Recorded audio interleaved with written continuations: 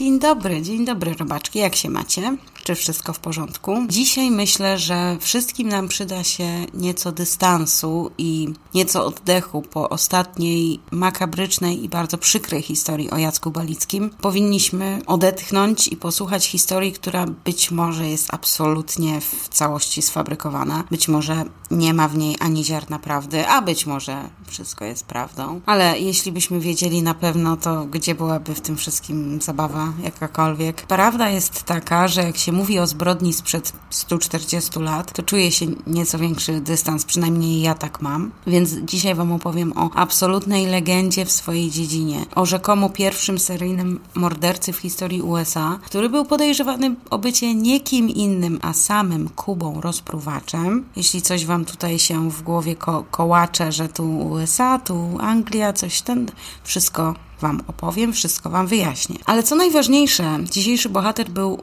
budowniczym domu grozy, na którego motywach stworzono całą serię horrorów Hostel, w których bogaci znęcają się nad biednymi w mrocznych piwnicach za okrągłe sumki. Znacie Hostel? To jest mega makabryczny horror, gore. Tam turyści są torturowani za pieniądze. Nie wiem, czy teraz właśnie nie, nie, nie powiedziałam jakiegoś spoilera, ale no, to jest stary film, więc jeśli nie oglądaliście do tej pory, to w ogóle co robicie na moim kanale? Hm. Scenariusz do tego filmu jest luźno oparty oparty na historii właśnie bohatera dzisiejszej opowieści, dzisiejszego podcastu. Określa się go też mianem pierwszego seryjnego mordercy USA. Oczywiście wiem, że, ta, że ten termin został sformułowany później, ok? Od lat 90. tak się go określa. Przez pewien czas myślano istotnie, że był Kubą rozpruwaczem, a to by znaczyło, że był pierwszym międzynarodowym seryjnym mordercą. Potraficie wymienić kilku takich?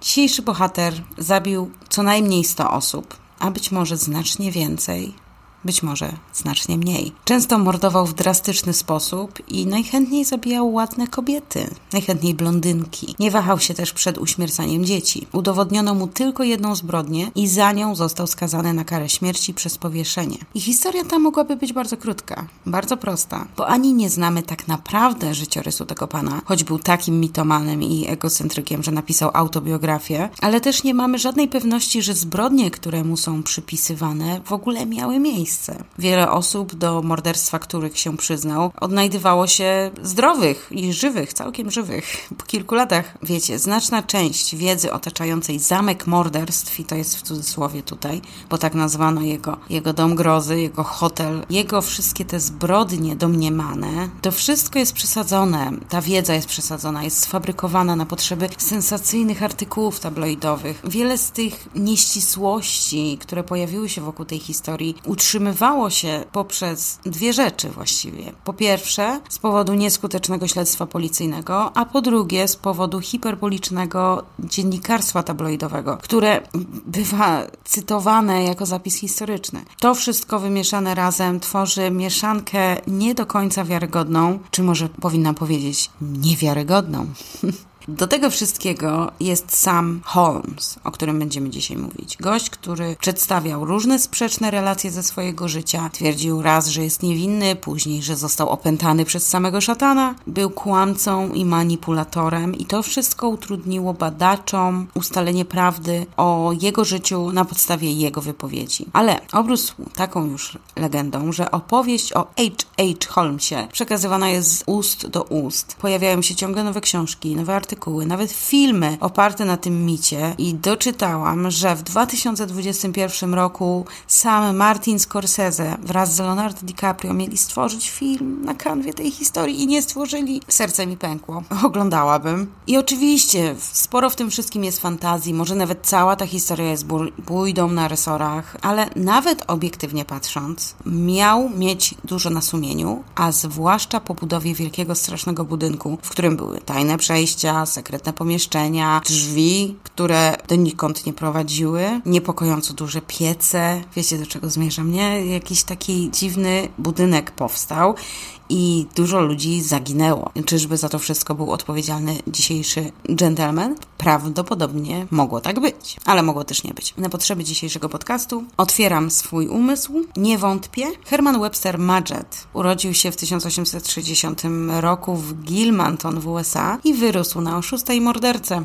Brał udział jako oskarżony w ponad 50 procesach sądowych w samym Chicago. Lepiej znany jest szerszej publiczności jako dr Henry Howard Holmes. Używał również pseudonimu Henry Mansfield Howard. Madget złapał w pułapkę i zamordował prawdopodobnie około 100 gości swojego hotelu, który otworzył w 1893 roku w Chicago. On sam przyznał się do 27 morderstw, w tym niektórych ludzi, którzy nadal żyli. I 9 z tych morderstw potwierdzono. Holmes został skazany i stracony tylko za jedno morderstwo wspólnika i partnera biznesowego Benjamina Peitzela. Uważa się, że poza Peitzelem zabił też troje dzieci Peitzelów, trzy kochanki, dziecko jednej z nich i siostrę drugiej. Holmes został stracony 7 maja 1896 roku.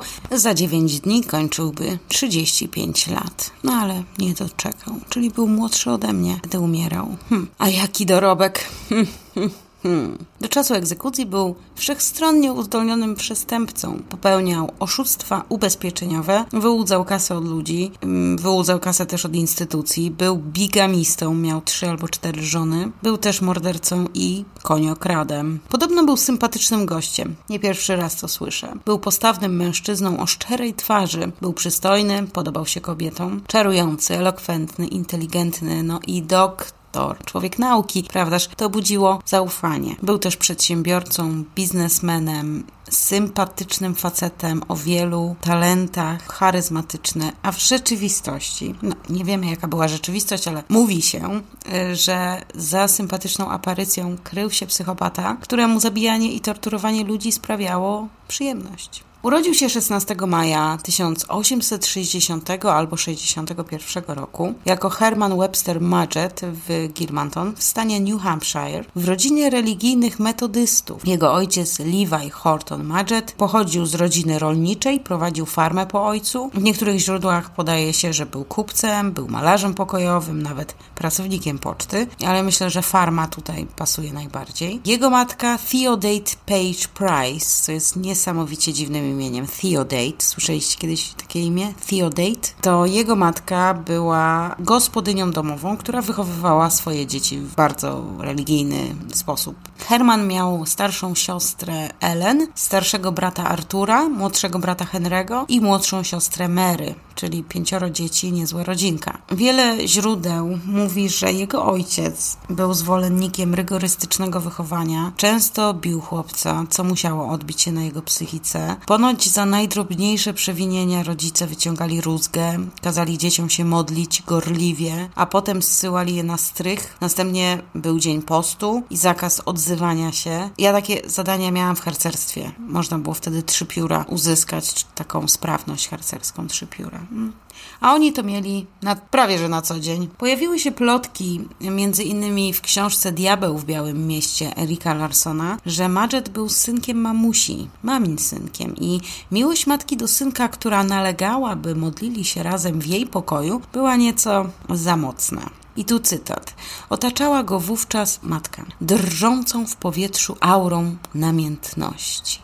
Tak napisał Larson. Później matka zachorowała śmiertelnie, więc to na pewno też miało wpływ na, na Hermana. I cała ta pobożność i dewocja no, nie przeszły bez echa. Wiele osób próbowało scharakteryzować Holmesa już teraz współcześni również próbują rozgryźć tego człowieka, bo żeby go dopasować do współczesnych wzorców seryjnego mordercy, jakkolwiek to brzmi, to trzeba go opisać jako torturującego zwierzęta i do tego też cierpiącego z rąk brutalnego ojca i z powodu braku miłości w domu. Ale bardzo wiele relacji świadków, osób, które znały rodzinę Madżetów w tamtych latach, kiedy Herman był dzieckiem, nie potwierdzają tego. Bardzo dużo osób zarzekało się, że to była pobożna rodzina, owszem, ale nie było tam przemocy, nie było tam tego wszystkiego, co usiłuje się nam wmówić, że było, żeby w jakiś sposób wytłumaczyć czy usprawiedliwić późniejsze zachowanie Hermana.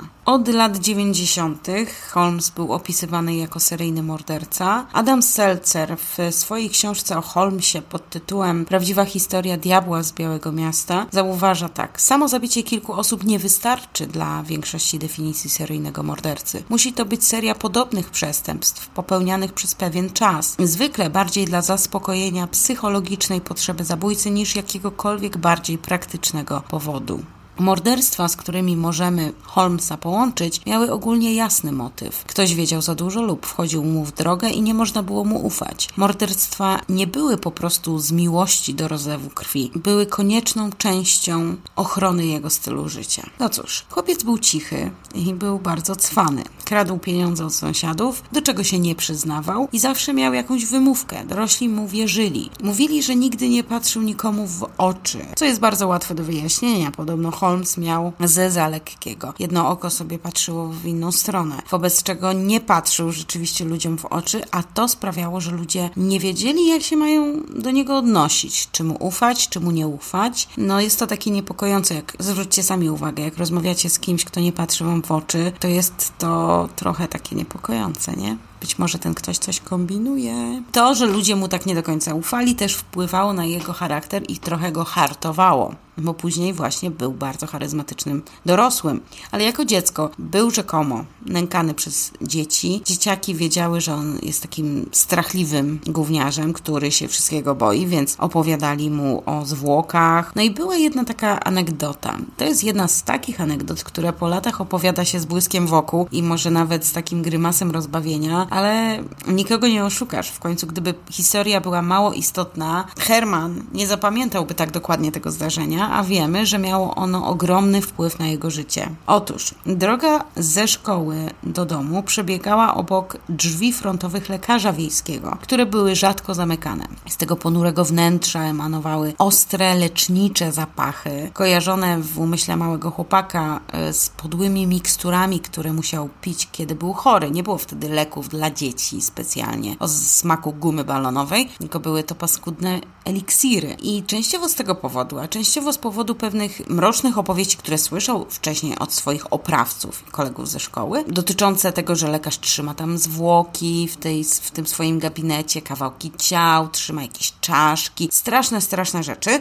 to ten gabinet lekarski nabrał przerażającego wymiaru w wyobraźni małego Hermana. I pewnego dnia dwaj jego starsi koledzy ze szkoły napadli na niego, gdy doktor był na mieście i coś tam załatwiał. Przeciągnęli go, walczącego i płaczącego przez straszny próg do gabinetu lekarskiego. Wtedy przez łzy Herman dostrzegł takie niesforne widmo, chytry szkielet unoszący się w cieniu niczym demon wstający z grobu. Jego krzyki zamieniły się w oszalałe z przerażenia wrzaski, które tylko rozjuszyły jego oprawców. Ciągnęli go coraz bliżej wyłaniającego się z mroku szkieletu, który zdawał się wyciągać kościste ręce, by objąć chłopca w śmiertelnym uścisku. I w tym momencie lekarz wrócił do swojego gabinetu i na pierwszy rzut oka ocenił sytuację. Zaczął krzyczeć na dwóch łobuzów, którzy puścili Hermana wtedy i wybiegli przez drzwi, zostawiając rozhisteryzowanego chłopca, który dławił się i łukał u stóp tego szkieletu, który go tak przeraził. Jak na ironię,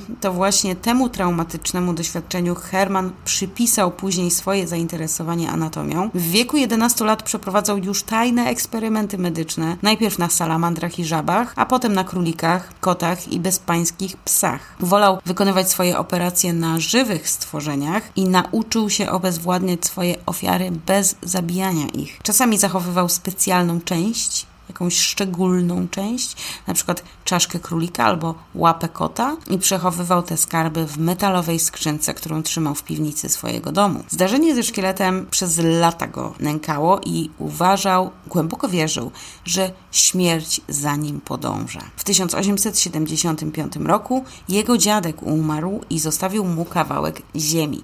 Holmes w ogóle się nie przejęł śmiercią dziadka, ucieszył się, chwalił się dziewczyną, słuchajcie, ja teraz jestem jestem majętnym facetem, mam kawałek ziemi. Nawet jedną dziewczynę namówił na zaręczyny. Tyle tylko, że jak jej rodzice się dowiedzieli, to ją odesłali. Bo tak to było kiedyś. Jakby nie rozmawiamy z nastolatkami, którzy się zakochują i mają głupie pomysły, tylko je po prostu odsyłamy do babci albo do szkoły z internatem dla panien. Pozbywamy się problemu w ten sposób. Poza tym Herman nie był zbyt wylewny, nie był też uczuciowy. Miał jednego przyjaciela Toma, który, uwaga, spadł ze schodów podczas eksploracji opuszczonego domu. No, urbex bywa zabójczy, ale czy na pewno? Czy to był wypadek? A może Herman miał z tym coś wspólnego? Wiemy jednak, że nigdy jakoś szczególnie za przyjacielem nie tęsknił. Był samotnikiem, wolny czas przeznaczał na marzenia o życiu, które będzie prowadził, gdy wreszcie wyjedzie z New Hampshire. Miał takie marzenie, jak bardzo wiele dzieciaków marzył o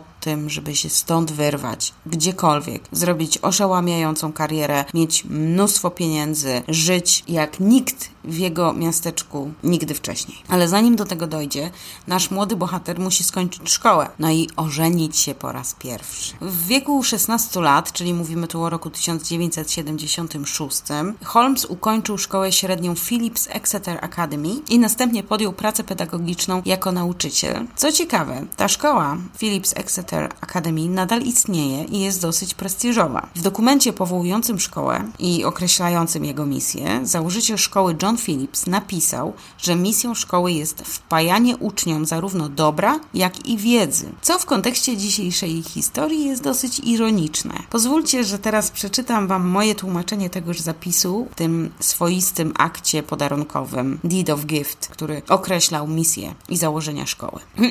co najważniejsze, oczekuje się, że skupienie nauczycieli na usposobienie umysłów i moralności młodzieży pozostającej pod ich opieką przewyższy wszelką inną troskę. Biorąc pod uwagę, że chociaż dobro bez wiedzy jest słabe i ograniczone, to jednak wiedza bez dobroci jest niebezpieczna i że dopiero obie te cnoty zjednoczone tworzą najszlachetniejszy charakter i kładą najpewniejszy fundament użyteczności dla ludzkości. A jednak mimo tych pięknych słów statutu szkoły, chłopak od dzieciństwa interesował się zadawaniem bólu i śmiercią rzekomo. Przyłapywano go jak obdzierał zwierzęta ze skóry, robił im amatorskie sekcje, ale słuchajcie, z drugiej strony, jak na tamte czasy, to nie było przecież nic takiego. Czytaliście Stulecie Chirurgów? Jak inaczej ludzie mieli się uczyć anatomii, jak nie empirycznie? Tortury, no tortury może niekoniecznie świadczą o naukowej ciekawości, ale amatorskie sekcje w XIX wieku? No jakoś ta nauka musiała się rozwijać, nie? A Holmes miał w tym swój udział i gdyby cholera jasna trzymał się tej ścieżki, to nie rozmawialibyśmy pewnie dzisiaj o nim. Ale zanim do jego kariery naukowej, to trochę o sprawach sercowych. Lubimy plotkować. 4 lub 7 lipca lipca 1878 roku 18-letni Holmes poślubił Clarę A. Lovering z Alton z New Hampshire. Zaczął się z nią spotykać jakoś niedługo wcześniej, a znali się od dziecka. Klara uważała, że jest miły dla oka i ma dobre serce, bardziej niż inni. Nie do końca wiem, czy tak było, bo raz Holmes był świadkiem, kiedy jakiś chłopiec rozmawiał z Klarą na jakiejś imprezie i był tak zazdrosny, że poszedł do tego chłopaka, coś mu tam nagadał i chłopak zwiał, blady. Następnego dnia Holmes obwieścił wszystkim, że on i Klara są zaręczeni. Rok później się pobrali w tajemnicy. Bali się, że rodzice będą źli i mieli rację, bo rodzice byli wściekli. Uważali, że są za młodzi na ślub, no ale stało się tak. To były takie lata, że o rozwód było trudno i też trochę wstyd na dzielni, więc jej rodzice, Klary rodzice chcieli pomóc Hermanowi, ażeby nie wiem, zaczął zarabiać na swoją rodzinę, więc pomogli mu. Załatwili mu pracę u wujka Klary, który prowadził sklep, ale nie do końca to wypaliło. Herman nie był zbyt dobrym pracownikiem. Dziwne to było małżeństwo, bo Klara mieszkała cały czas z rodzicami. Holmes co tydzień w sobotę szedł 9 mil i wracał w poniedziałki 9 mil. To być może to była miłość, prawda? Jak tyle szedł, to może to była miłość. Holmes w tym czasie zapisał się na University of Vermont w Burlington Miał wtedy 18 lat, ale nie był zadowolony ze szkoły i opuścił ją po roku. W 1882 wstąpił na Wydział Medycyny i Chirurgii Uniwersytetu Michigan i ukończył ten wydział w czerwcu 1884 roku. Na studiach szczególnie interesował się medycyną sądową, hmm, cóż za zaskoczenie, i już wtedy przeprowadzał różne eksperymenty na zwłokach. Miał wtedy już dostęp do tego, co go naprawdę jarało. Szczególnie lubił ćwiczenia w prosektorium. Znał Znalazł też sobie zajęcie, które przynosiło mu dochód. Po kryjomu wykopywał zwłoki na cmentarzach, preparował z nich szkielety, a następnie sprzedawał te szkielety szkołom i uczelniom, które bardzo chętnie nabywały takie pomoce naukowe. Nie robił też tego sam. Pracował w laboratorium anatomii pod kierunkiem profesora Williama Jamesa Herdmana, ówczesnego głównego instruktora anatomii i mówiono, że obaj byli zaangażowani w grabieże grobów, ażeby dostarczyć zwłoki medyczne do badań i do analiz i do sekcji. Herdman to była w ogóle niezła osobistość. On napisał między innymi Przewodnik po sekcji ludzkiego ciała. To była taka broszura informacyjna wydana 1 stycznia 1883 roku, zatem miał swój wkład w rozwój anatomii, ale był też orędownikiem elektroterapii. Hmm. Holmes odbył praktykę w New Hampshire u Nehuma White'a, znanego apologety sekcji ludzi, ale Holmes nie ograniczył się do wykradania trupów i sprzedawania ich tym rządnym wiedzy anatomom. Musiał dbać o swój byt w każdy możliwy sposób, jaki tylko mu przyszedł do głowy i w jaki tylko się dało. Wiele lat później, kiedy Holmes był podejrzewany już o morderstwo i wciąż utrzymywał, że jest tylko oszustem ubezpieczeniowym, to przyznawał się, że kilkakrotnie używał zwłok do oszukiwania firm ubezpieczeniowych na studiach. W 1880 roku rodzi się Robert, pierwszy syn Holmesa i Klary. Przyszedł na świat 3 lutego w rodzinnym miasteczku swojej matki w Loudon, też w stanie New Hampshire. Na tym chłopcu, to tak już opowiem, żeby odłożyć ten temat na bok, to na Robercie cała działalność ojca nie miała zbyt dużego wpływu.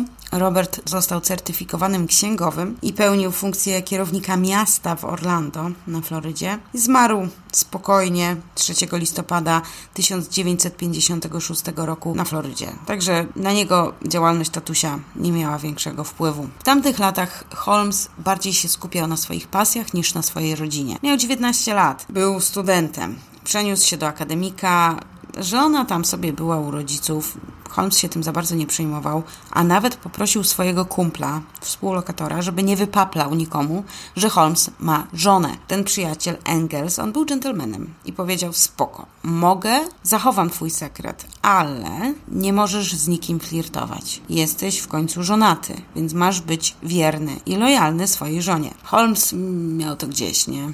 Spotykał się z córką landlordki, no i Engels, jak to zobaczył, to był wstrząśnięty, niezmieszany i wygadał wszystkim, że tamten spotyka się z tym, a ma żonę i w ogóle co za kutas, więc chłopcy się pobili. Landlordka i tak miała oko na Holmesa, bo jak przychodziła do akademika sprzątać czy zamiatać, to widziała, że Holmes miał chemikalia różnej, próbówki, znalazła u niego też zwłoki dziecka, pod łóżkiem. To był rekwizyt, tak, ze szkoły. Ukradł go po prostu Holmes z uniwerku, no ale wciąż, no, domyślam się, jakie przerażenie możesz poczuć, kiedy sobie po prostu zamiatasz, nucisz pod noskiem jakąś pioseneczkę, a tu nagle niemowlę martwe.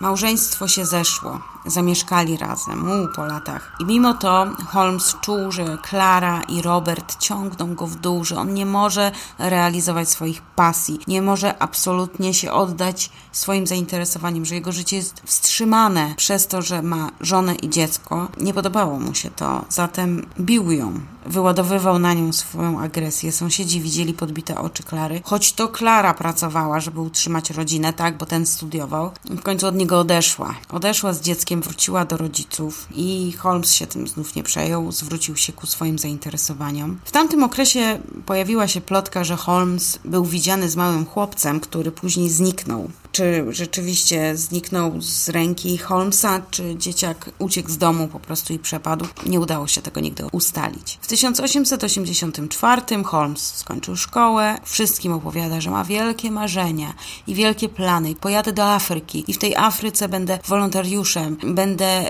ratował innych, będę tworzył mikstury, będę medykiem i zajebistym człowiekiem i w ogóle jeszcze um, o mnie usłyszycie. Nawet napisał o tym do lokalnej gazety. Zobaczcie, jakie to trzeba mieć mniemanie o sobie, żeby w ten sposób zwracać na siebie uwagę, ale to się nigdy nie stało, nigdy do Afryki nie pojechał. Po studiach i po rozstaniu się z żoną, choć nie wzięli rozwodu, wrócił do New Hampshire i zaczął chodzić po domach, sprzedając szczepionki po 25 centów, 6,5 dolara dzisiaj. To były szczepionki bodajże na ospę. Nie udało mu się, więc zaczął podawać się za medyka i kłamał ludziom, że te szczepionki są zatwierdzone przez rząd. I ludzie się nabierali, bo uważali, że jeśli są szczepionki zatwierdzone przez rząd, to znaczy, że musimy je kupić. I dzięki kasie, którą zarabiał na tych szczepionkach, co w nich było, nie mam pojęcia, to rozwijał swoje laboratorium i chciał zrobić patent na jakiś super, hiper, duper lek. Tak to drzewiej bywało, że wystarczyło opatentować jakąś miksturę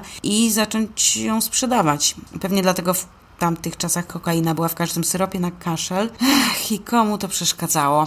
Tak czy inaczej, po tygodniach eksperymentów nie udało mu się zrobić tego super, hiper, duper leku i musiał przełknąć gorycz porażki i zaczął pracować w przychodni lokalnej, lekarskiej. Nie lubił tego, nie, nie lubił tej pracy, ale miał coraz więcej długów. Musiał kombinować, kłamać, a w tym był najlepszy. Trochę popracował, ale on miał wolnego ducha.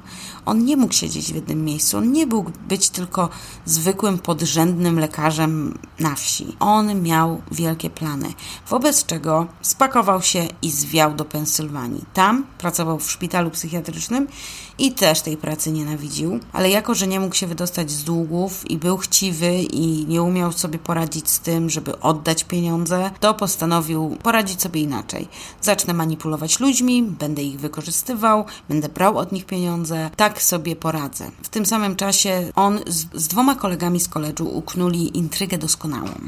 Otóż Holmes, kolega z koledżu i kolega kolegi z koledżu dogadali się, że skoro kolega kolegi z koledżu ma żonę i dziecko, to ubezpieczy się, potem wyjedzie z miasta razem z tą rodziną i zniknie, przedtem napisawszy list, że ja zabiłem moją żonę i moje dziecko, zabijam też siebie, życie jest do dupy i w ogóle, i by zwiał, zostawiając ten list, a gdy firma ubezpieczeniowa chciałaby zobaczyć ciała, no raczej chcieliby zobaczyć ciała, to wówczas podłożyliby trzy rekwizyty z, z uczelni, trzy zwłoki i wtedy Holmes miałby się zjawić jako krewny i on miałby potwierdzić tożsamość ofiar. Kasa by się zgadzała, podzieliliby się nią. Holmes, kolega z koledżu i kolega kolegi z koledżu podzielili się więc, że każdy znajduje po jednym ciele ale wtedy Holmes przeczytał pewną książkę o ubezpieczeniach i dowiedział się, że firmy ubezpieczeniowe bardzo dokładnie sprawdzają zwłoki. Panowie musieliby znaleźć zwłoki łudząco podobne do ofiar, które miały udawać. Zatem odwołali akcję,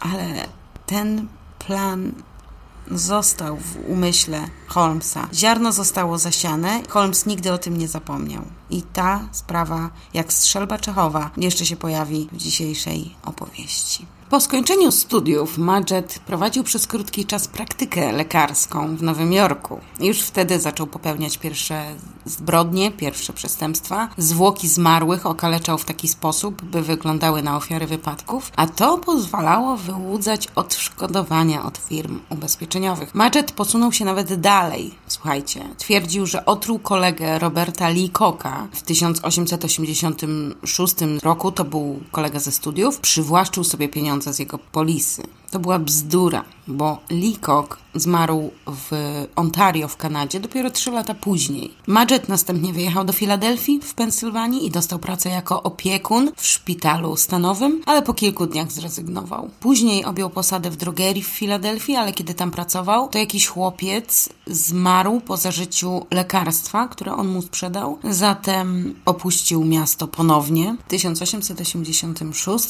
roku zmienia nazwisko na Henry Howard Holmes i wyjeżdża do Chicago. I tam zaczyna spotykać się z Myrtą Belknap. Ona była dwa lata od niego młodsza, poznał ją podczas delegacji w Minneapolis w grudniu 1886, a ślub wzięli już 28 stycznia 1887 roku, więc szybko. Zamieszkali razem bardzo szybko, wzięli ślub, ale że on był żonaty, pamiętamy o Klarze, prawda? Że on był żonaty, to zrobili to bardzo nieoficjalnie. Myrta nie wiedziała dlaczego, zaufała swojemu mężowi, nie miała powodów mu nie ufać. Chyba nigdy się o tym nie dowiedziała i nigdy nie dowiedziała się, jakie było prawdziwe nazwisko jej małżonka, bo on już wtedy przedstawiał się jako Holmes. Podejrzewa się, że Myrta była jedyną kobietą, którą on naprawdę kochał, ponieważ zrobił coś, co mu się nie zdarzało. Pomyślał o innych. Podobno wtedy zawnioskował o rozwód z Klarą. Zrobił to podpisując się po raz ostatni już w życiu jako Madget, tyle że rozwód nigdy nie doszedł do skutku. Prawdopodobnie Klara nawet się o tych papierach rozwodowych nie dowiedziała. No ale spróbował. Panie Holmes, czy nie wiesz pan, że dobrymi chęciami jest piekło wybrukowane? On to piekło sobie sam zaczął budować i zaraz przejdziemy do zamczyska. Ale zanim do tego zamczyska, to musimy w ogóle opowiedzieć, jak to w ogóle się stało, że zakupił parcelę, na której ten budynek postawił. Otóż w Chicago, a dokładnie na przedmieściach Chicago, w Englewood, szukał pracy i tam zobaczył, że jest apteka. I tutaj są różne wersje tej historii, w zasadzie trzy. Według jednej Holmes wszedł do apteki, ukłonił się, za ladą stała starsza pani, która miała zapłakane oczy. Holmes przedstawił się jako licencjonowany farmaceuta i medyk i zaproponował pomoc w aptece. Czy nie potrzebuje pani rąk do pracy? Szukam aktualnie zatrudnienia. I pani Elizabeth Holton, bo tak się nazywała ta pani, rozpłakała się i powiedziała, że na górze w mieszkaniu właśnie umiera jej mąż na raka i każda pomoc by jej się ogromnie przydała. Traktowała go jak anioła, który został wysłany z nieba od samego Boga. Więc Holmes zaczął pracę w tej aptece. Kiedy zmarł starzec, kiedy zmarł mąż Elizabeth, ona się wyprowadziła i oddała Holmesowi zarządzanie apteką. Inna wersja jest taka, że Elizabeth Holton nie była wcale staruszką, była młodą, atrakcyjną blondynką, którą Holmes w sobie rozkochał. Kiedy jej mąż dowiedział się o romansie, to wkurzył się i wyjechał. I Elizabeth później jakoś dziwnym trafem zniknęła. Jeszcze inna wersja, taka najbardziej optymalna, mówi o tym, że istotnie Elizabeth Holton wraz z mężem prowadziła aptekę. Holmes się tam pojawił, zaczął dla nich pracować. Nie było tu żadnego romansu, ale Holmes wpadł na pomysł obniżenia wartości apteki, żeby był w stanie w ogóle to kupić. Zaczął wykradać sprzęt z tej apteki i towary, przez co apteka istotnie odnotowywała straty i ostatecznie Holmes był w stanie kupić ją od rodziny Holtonów za dużo niższą cenę niż jej początkowa wartość. Niezależnie jak było, Holmes stał się właścicielem apteki i zaczął się rozglądać za kolejnym przedsięwzięciem. Naprzeciwko tej apteki była pusta parcela i postanowił ją kupić. Wziął kredyt, nieźle zarabiał w drogerii, nieźle zarabiał jako sprzedawca szkieletów, bo wciąż wykopywał groby, rozkopywał groby i wyciągał ciała, zatem miał stały dochód, no ale wciąż miał wierzycieli i nie lubił, nie lubił płacić długów. To była rzecz, której nie lubił najbardziej. Niektórzy ludzie nie lubią szpinaku, inni nie lubią płacić długów, no normalna sprawa. Holmes wcale się tym nie przejmował, bo on miał duże marzenia. On nie będzie się, wiecie, to był taki lekkoduk trochę Piotruś Pan, makabryczny Piotruś Pan, który wymyślił wymyślił sobie, że postawi wielkie zamczysko i będzie bardzo, bardzo, bardzo bogaty, ale zrobi to wszystko za pieniądze innych osób. W tym czasie zakochał się w Myrcie. Ona pracowała przez jakiś czas z nim w aptece i klienci byli zaszokowani kontrastem między tą dwójką, bo Holmes był charyzmatyczny, serdeczny, gadatliwy, a jego żona Myrta była bardzo introwertyczna, grzeczna, taka stłamszona trochę, ale wszyscy widzieli, jak ona na niego patrzy. Ona patrzyła na Holmesa z podziwem. To był człowiek sukcesu, roztaczający aurę pewności siebie. Był bogaty, był przedsiębiorczy, był wszystkim, o czym Myrta mogła marzyć. Więc ona była bardzo w nim zakochana, ale w tym związku oczywiście zaczęło coś pękać. Myrta krótko pracowała z Holmesem w aptece. W końcu powiedział jej, kochanie, idź do domu, zajmuj się domem, rób sobie zakupy, kupuj sobie ładne sukieneczki, ja będę pracował na nasze utrzymanie. I ona tak zrobiła. Wierzyła mu, że rzeczywiście martwi się o to, aby ona była szczęśliwa. Zaraz później urodziła im się córka Lucy, Lucy Theodate Holmes, czyli otrzymała drugie imię po swojej babci. Zatem Myrta miała co robić, ale tak naprawdę Holmesowi wcale nie chodziło o o to, żeby jego żona nie miała spuchniętych kostek, tylko chodziło o to, żeby zeszła mu z drogi. On uwielbiał flirtować z kobietami, no był babiarzem generalnie, a żonka mu w tym przeszkadzała. Zatem żona w domu, mąż w pracy, flirty, romanse. Klienci zaczęli jednak obserwować, że w tym związku dzieje się coś nie tak. Coraz częściej się kłócili i to na oczach klientów. Myrta schodziła z, z góry, bo na, na górze nad apteką mieli mieszkanie, schodziła z góry i wracała na tę górę zapłakana. Ten na nią warczał, krzyczał, czasem bił, więc nie było dobrze. I w końcu Myrta z tej całej rozpaczy napisała list do rodziców. Napisała, że nie jest szczęśliwa, że ten mąż się zmienił, nie jest taki, jaki był, gdy się poznali. I rodzice, co jest niezwykłe, myślę, jak na tamte czasy, rzucili wszystko i wyjechali do Chicago, gdzie kupili czy wynajęli mieszkanie, ściągnęli Myrtę z Lucy do siebie. Jeśli myślicie, że Myrta była jedną z ofiar Holmesa, to nie. Myrta dożyła swoich lat jako sędziwa staruszka, a Lucy w dorosłym życiu była nauczycielką w szkole. No ale wiecie, no, Holmes się tym znów nie przejął. Znowu był wolny, znowu był singlem, no i miał dużo planów. I teraz dochodzimy do budynku. Budowa rozpoczęła się w 1887 roku. Na parterze domu miały znajdować się lokale handlowe, na piętrach miały być pokoje do wynajęcia, miała tam też być nowa apteka i cały dom miał mieć wygląd zamku. Holmes osobiście nadzorował inwestycje, co kilka miesięcy zmieniał plany i wykonawców. Dzięki temu tylko on jeden wiedział, co mieści się w środku. W międzyczasie do Englewood przybywa jubiler Ned Conner z 18-letnią siostrą Gertie, żoną Julią i 8-letnią córeczką Pearl. Holmes proponuje Nedowi otwarcie punktu usługowego w drogerii, takiego stoiska z biżuterią. Conner przyjmuje propozycję, a Holmes zyskuje dwie kochanki, Julię i Gertie. Po pewnym czasie jubiler zorientował się w sytuacji i wściekły wyjechał, zostawiając rodzinę. Przeprowadził też później z żoną rozwód z powodu jej niewierności, a Holmes żył sobie w trójkącie. Taka anegdota, która udowadnia, jak to można zaoszczędzić na różnych rzeczach. No, na przykład można kupić safe na kredyt, zbudować wokół niego pokoje. Tak zrobił Holmes. Kupił olbrzymi, olbrzymi safe, wstawił go do domu, tego swojego budowanego i wokół tego sejfu obudował pomieszczenia. Zatem, kiedy firma, która sprzedała mu ten safe, chciała odzyskać swoje pieniądze, on powiedział: Spoko, zabierajcie sobie ten safe. Tylko, że jeśli zniszczycie coś po drodze, to was pozwę. No, żeby wyciągnąć ten safe, musieliby zburzyć kawał domu. Bali się pozwów, więc odpuścili. I Holmes był bogatszy o safe. Muszę przyznać, że zadziwia mnie jego spryt. Generalnie przez około 8 lat Holmes doczekał się około 60 pozwów. Ten safe pojawił się też w opowieściach pracowników, którzy relacjonowali później pracę dla Holmesa. Ponoć Holmes kazał jednemu pracownikowi wejść do tego sejfu i zamknął go w tym sejfie i kazał mu krzyczeć. Chciał usłyszeć, czy sejf jest dźwiękoszczelny.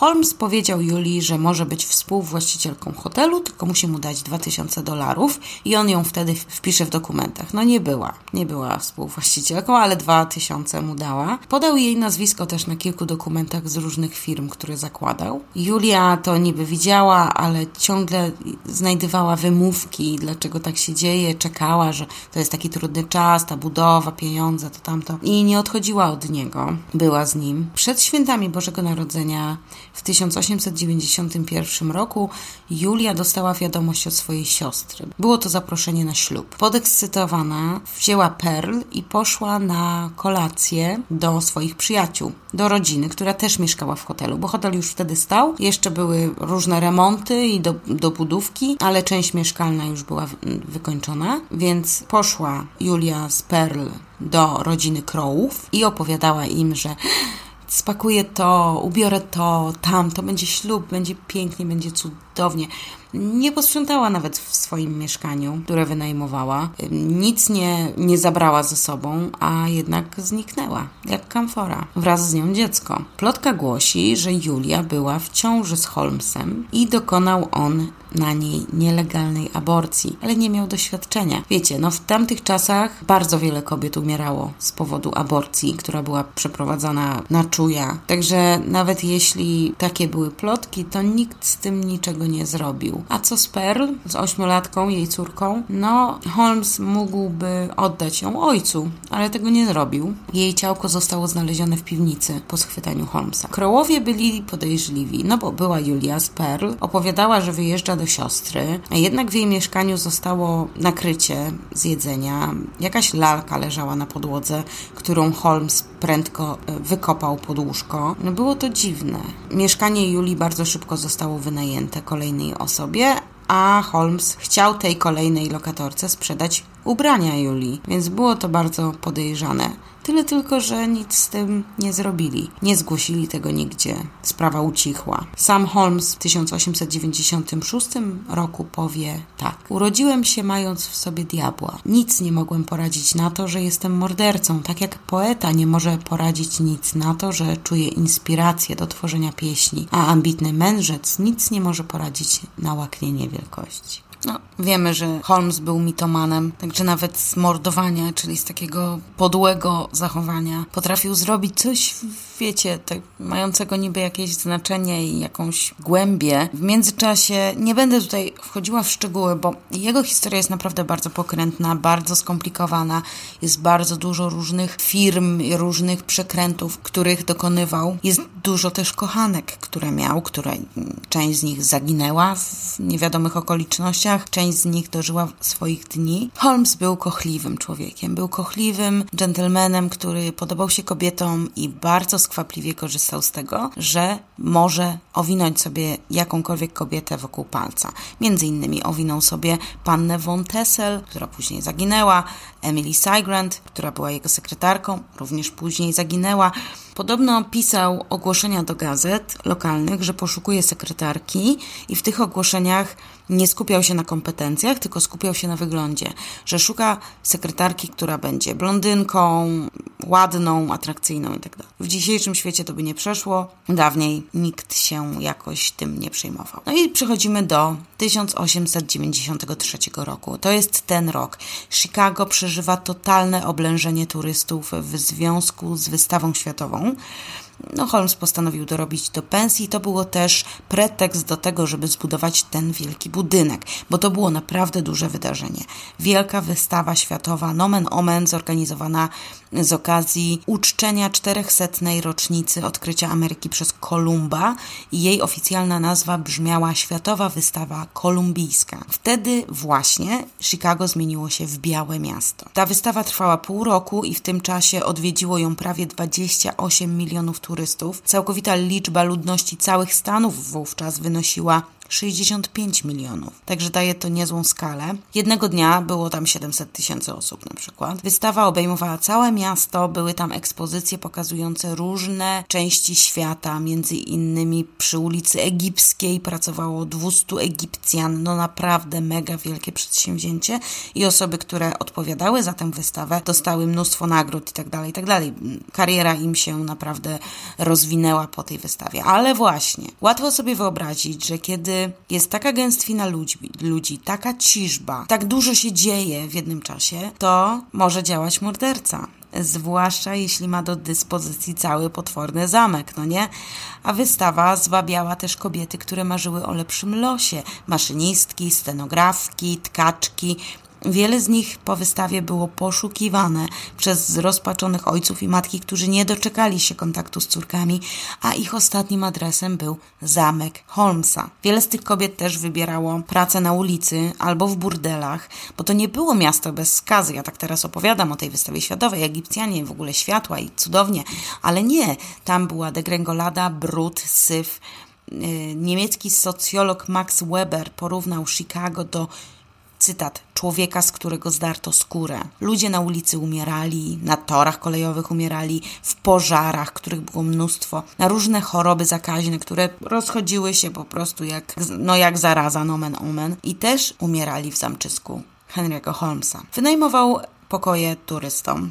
Zdarzało się, że co bogatsi goście nie opuszczali tego zamku. Niektóre ofiary ociosywał z mięsa i ćwiartował. Szkielety sprzedawał po jakimś czasie Akademii Medycznej. Nazwał swój budynek hotelem wystawy światowej, co w sposób oczywisty przyciągało klientów, którzy myśleli, że to jest jakiś oficjalny budynek, oficjalny hotel całego przedsięwzięcia, całego eventu. Najchętniej Holmes wynajmował pokoje młodym, urodziwym kobietom, w dodatku samotnym. Potem je mordował, bo cały dom był zbudowany tak, żeby ten proceder mu ułatwić plątaninie pokoi było mnóstwo pomieszczeń ukrytych za ścianami, na zawiasach lub za fałszywymi przegrodami. Apartamenty były łączone tajnymi przejściami. Niektóre pokoje miały pięcioro drzwi. W innych ściany wyłożono żelaznymi płytami tłumiącymi dźwięk. Wszystkie przejścia były podpięte pod specjalny system alarmowy i gdy ktoś wychodził na korytarz lub na schody, to w gabinecie Holmesa odzywał się brzęczyk. Były też pokoje hermetyczne, do których doprowadzono rury z gazem razem. Mhm. Holmes mordował gości puszczając gaz ze swojego gabinetu, a ich agonię obserwował przez ukryte wizjery. Inne ofiary zabijał po uśpieniu ich chloroformem, jeszcze inne podobno podpalał, czemu służyły wyłożone azbestem ognioodporne pomieszczenia. Ciała zrzucał do piwnicy za pomocą specjalnych sypów. I w piwnicach tego zamku znajdowały się stoły chirurgiczne, na których Holmes dokonywał sekcji. Obdzierał ciała z mięśni, wyjmował Wyjmował organy, preparował szkielety, następnie sprzedawał je na czarnym rynku lub oficjalnie instytucjom medycznym, korzystając ze swoich medycznych kwalifikacji. Inne zwłoki palił w zbudowanym krematorium lub rozpuszczał we wnękach z kwasem i wapnem. Podobno lubił torturować żywe jeszcze ofiary, zupełnie jak w dzieciństwie, kiedy torturował żywe jeszcze żaby i jaszczurki, to się niewiele zmieniło, tylko skala uległa nieco zmianie. 9 stycznia 1894 roku Holmes ożenił się po raz trzeci, oczywiście nie, mia nie mając rozwodu z poprzednimi żonami. Tym razem jego żoną została Georgiana Yoke i wtedy został aresztowany za drobne oszustwo. Tyle, że Georgiana, która była przekonana o jego niewinności, wpłaciła kaucję i uwolniła męża. Pewnego dnia później zniknęła bez śladu. Na początku 1893 roku do Chicago przeprowadziła się była aktorka Minnie Williams. Holmes stwierdził, że spotkał ją w urzędzie pracy, ale krążyły pogłoski, że poznali się wiele lat wcześniej w Bostonie. Holmes zaproponował jej pracę w hotelu jako stenografka, a ona się zgodziła. Wcześniej przekonał ją do przeniesienia aktu własności na jej posiadłość w Fort Worth w Teksasie mężczyźnie o imieniu Aleksander Bond. To był jeden z pseudonimów Holmesa. Bond. Aleksander Bond. Wkrótce zamieszkała z nim Mimi, uchodząc za jego żonę, udawali przed wszystkimi, że rzeczywiście są małżeństwem. Williams istotnie przekazała akt własności, Holmes służył jako notariusz. Później przepisze ten akt na Pajcela, który się pojawi w tej historii, który doprowadzi do końca zbrodniczej działalności Holmesa. Siostra Mini Ani przyjechała z wizytą do swojej siostry, i do jej chłopaka. Po 5 lipca 1893 roku żadna z pań nie była widziana, a po kilku miesiącach Holmes zaprosił do siebie kuzynkę Mimi, Nani, która też po pewnym czasie zniknęła. W tym czasie Holmesowi pali się grunt pod nogami, wobec czego postanawia podpalić hotel, żeby uciec od wierzycieli i przy okazji dostać pieniądze z ubezpieczenia. Podpalił chatę. Oczywiście wszyscy wiedzieli, że to on zwiał z Chicago i pojawił się w Fort Worth, gdzie odziedziczył majątek po siostrach Williams. Tam handlował końmi, obracał fałszywymi pieniędzmi. Następnie uciekł do St. Louis, gdzie kupił aptekę, wziął towar na kredyt, następnie się nie rozliczył. Po prostu masakra. Cały czas popełniał zbrodnię, on nie potrafił żyć uczciwie. I ten drobny incydent, czyli właśnie towar na kredyt i niezapłacenie rachunku, to był początek końca seryjnego mordercy Chicago. Trafił wtedy za kraty. Warto tutaj powiedzieć, że kiedy pracował Holmes w banku chemicznym, poznał i zaprzyjaźnił się z Benjaminem Peitzelem. On był stolarzem, miał kryminalną przeszłość i wystawiał w tym samym budynku, co Holmes pracował, wynaleziony przez siebie kosz na węgiel. I Holmes używał Peitzela jako swojej prawej ręki w kilku przestępczych planach, a prokurator okręgowy następnie opisze Pajcela jako narzędzie Holmesa, jego stworzenie. W lipcu 1894 Holmes został aresztowany i osadzony w więzieniu pod zarzutem sprzedaży towarów obciążonych hipoteką w St. Louis. Został szybko zwolniony za kaucją, ale podczas pobytu w więzieniu wdał się w rozmowę ze skazanym Marionem Hedgepethem, który odsiedywał 25 lat więzienia. Holmes wymyślił plan, aby oszukać firmę ubezpieczeniową na 10 tysięcy dolarów, wykupując polisę na siebie, a następnie fingując swoją śmierć. Czyli plan z dzieciństwa teraz rozkwitł i nabrał realnych kształtów. Holmes obiecał Hedgepethowi prowizję w wysokości 500 dolarów w zamian za nazwisko prawnika, któremu można było zaufać. Holmes został skierowany do prawnika o nazwisku Jepta Howe i Howe uznał, że plan Holmesa jest genialny. Zgodził się odegrać swoją rolę, tyle tylko, że ten plan się nie powiódł, bo firma ubezpieczeniowa stała się podejrzliwa i odmówiła zapłaty odszkodowania. Holmes nie nalegał, ale wymyślił podobny plan z Pajcelem. Do trzech razy sztuka, prawda? Pajcel zgodził się sfingować własną śmierć, aby jego żona Carrie mogła zebrać polisę ubezpieczeniową na życie w wysokości 10 tysięcy dolarów, którą następnie mieli podzielić się z Holmesem i z Howim. Po wyjściu z więzienia Holmes razem z Pajcelem wyjechali do w Filadelfii i tam przystąpili do realizacji planu. Plan był taki, że Pajcel miał zmienić nazwisko i wynająć laboratorium chemiczne, w którym miało dojść do wypadku. Oczywiście wcześniej Pajcel jako BF Perry miał mieć wykupione ubezpieczenie na życie. Miało dojść do wypadku. O tym wiedziała Carrie, jego żona, żona Pajcela i ona miała przyjechać do laboratorium i potwierdzić że ciało, które uległo wypadkowi, tak, że osoba, która uległa wypadkowi jest istotnie jej mężem, wobec czego należałoby jej się odszkodowanie w wysokości 10 tysięcy dolarów. Plan był taki, że Pajcel by się ukrył, a Holmes miałby znaleźć ciało łudząco do niego podobne i podrzucić je do tego laboratorium. Tyle tylko, że Holmes nie chciał ryzykować i po prostu zabił Pajcela. Najpierw uśpił go chloroformem, a następnie go podpalił, że niby to był wypadek, jakoby Pajcel odpalał cygaro w laboratorium pełnym różnych chemikaliów i doszło tutaj do wybuchu. Zatem zabił Pajcela, a żonie Pajcela powiedział Holmes, że spoko, twój mąż się ukrywa, wiesz, trzeba tutaj przez chwilę poczekać, jakby wiesz, no, siedzieć w ciszy, wypłacić odszkodowanie, zejść z radarów, bo różnie może być. Więc Carrie uwierzyła Holmesowi. Mało tego, oddała Holmesowi pod opiekę trójkę ze swoich pięcioro dzieci. Najstarszą córkę i najmłodsze dziecko Carrie zostawiła przy sobie, a trójka dzieci, Howard, Alice i Nellie, zostały umieszczone pod opieką Holmesa. Holmes następnie podróżował z tymi dziećmi po północnych Stanach Zjednoczonych, aż do Kanady. No i oczywiście zamordował te dzieci. Podobno Alice i Nelly zmusił do wejścia do dużego kufra i zamknął dziewczynki w środku, wywiercił otwór w pokrywie bagażnika i włożył jeden koniec węża e, przez otwór, a drugi przymocował do przewodu gazowego i udusił dziewczynki. Ich nagie ciała pochował w piwnicy swojego wynajętego domu przy Vincent Street w Toronto. Ten dom już nie istnieje. Nawet ten adres już nie istnieje, bo Vincent Street została przekształcona w część Bay Street. I tu na scenę wkracza Frank Geyer, detektyw policji z Filadelfii, który został wyznaczony do zbadania Holmesa i odnalezienia trojga zaginionych dzieci. On znalazł rozłożone ciała dwóch dziewcząt, Alice i Nelly Pajcelów, w piwnicy domu w Toronto i napisał później w raporcie tak.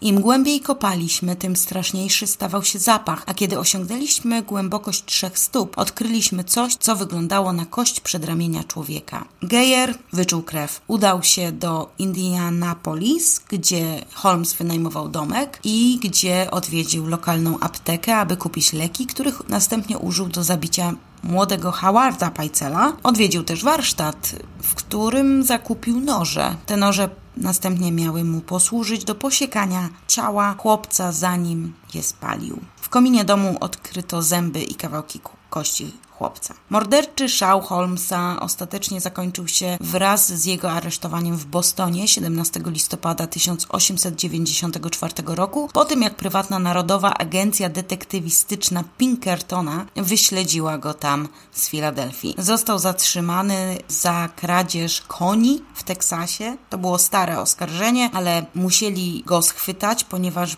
byli przekonani, że Holmes ucieknie z kraju, zatem trzeba było go wsadzić do paki. W lipcu 1895 roku, po tym jak odkryto ciała Alice i Nelly, chicagowska policja i reporterzy rozpoczęli śledztwo w budynku Holmesa w Englewood, obecnie nazywanym zamkiem. Chociaż pojawiło się wtedy wiele sensacyjnych twierdzeń, to nie znaleziono dowodów, które mogłyby skazać Holmesa w Chicago. Podobno historie o narzędziach tortur i o tych wszystkich mrocznych pomieszczeniach śmierci były fikcją. W październiku 1895 roku Holmes został postawiony przed sądem za morderstwo Benjamina Peitzela. Został uznany za winnego i skazany na śmierć. Do tego czasu było oczywiste, że Holmes zamordował też troje zaginionych dzieci Peitzela. Po skazaniu Holmes przyznał się do 27 morderstw w Chicago, Indianapolis i Toronto, chociaż niektórzy ludzie, których wskazał na swoje ofiary, nadal żyli. Do tego przyznał się do sześciu usiłowań zabójstwa. 7 maja 1896 Holmes został powieszony w więzieniu Moja Mensing, znanym również jako więzienie hrabstwa Filadelfia. Do chwili śmierci pozostawał spokojny, uprzejmy, wykazywał bardzo niewiele oznak strachu, czy niepokoju, czy depresji. Pogodzony był ze swoim losem, ale poprosił, aby jego trumna była zamknięta porządnie i zalana cementem, zakopana na głębokości 10 stóp, bo obawiał się, że rabusie grobów ukradną jego ciało i wykorzystają je do sekcji. Więc uderz w stół, nożyce się odezwą. Holmes powoli dusił się. Przez 15 minut umierał, dając na sznurze, więc nie miał bardzo lekkiej śmierci. Nie było to od razu złamanie kręgów, niestety, ale cierpiał. Jego ciało zostało pochowane w nieoznaczonym grobie na cmentarzu Świętego Krzyża. Jest to katolicki cmentarz na zachodnim przedmieściu Filadelfii. Hedgepeth został ułaskawiony. On odsiadywał 25 lat, tak, czy dożywocie. Został ułaskawiony za to, że wygadał te wszystkie informacje o Holmesie, ale zastrzelił go funkcjonariusz policji Edward Jaburek podczas napadu na chicagowski saloon. 7 marca 1914 roku Chicago Tribune poinformowało, że tajemnice zamku Holmesa pozostają niewyjaśnione. Właściciel zamku po Holmesie, Patrick Quinlan, popełnił samobójstwo poprzez zażycie strychniny. Jego ciało znaleziono w sypialni z adnotacją Nie mogłem spać. Pozostali przy życiu krewni Quinlana twierdzili, że zamek był nawiedzony i że Quinlan cierpiał na halucynacje. Sam zamek został strawiony przez pożar w sierpniu 1895 roku. Podobno widziano dwóch mężczyzn, którzy wchodzili na tył budynku. Było kilka eksplozji, zamek spłonął. Śledczy znaleźli w połowie opróżnioną puszkę z gazem pod tylnymi schodami budynku. Budynek jednak przetrwał pożar. W końcu zburzono go w 1938 roku. W 2017 2015 roku pojawiły się zarzuty, że Holmes uniknął egzekucji, że udało mu się zwiać, więc ekshumowano jego ciało. Jako, że jego trumna była umieszczona w cemencie, to jego ciało nie rozłożyło się normalnie. Prawie doskonale zachowane były jego ubrania, wąsy były nienaruszone i zidentyfikowano go po zębach jako rzeczywiście Holmesa. Następnie pochowano go raz jeszcze. Ta sprawa pojawia się co jakiś czas w popkulturze, bo naprawdę nie wiadomo, czy Holmes był seryjnym mordercą, a może tylko cwaniakiem, może tylko zabił jedną osobę z chciwości, a może jednak był psychopatą, może zamordował 100 osób. W końcu znaleziono szczątki dzieci, kilka kobiet, które miały kontakt z Holmesem, zniknęło. Być może pożar pożarł wszystkie ślady i dowody. Do tego nie dowiemy się już nigdy. Pamięć po Holmesie pozostaje w opowieściach Wszyscy lubimy takie opowieści z dreszczykiem. Wolałabym wierzyć w to, że to wszystko jest mit. Henry Howard Holmes nie zabił 100 czy 200 osób, ale nigdy się tego nie dowiemy. Życzę Wam wszystkiego dobrego, miłego popołudnia. Słyszymy się już niebawem. Mam nadzieję, że wszystko jest u Was w porządku. Dziękuję za wszystkie życzenia urodzinowe, które otrzymałam od Was. Zrobiliście mi dzień. Tymczasem Borem Lasem. Bądźcie zdrowi i do usłyszenia. Pa, pa!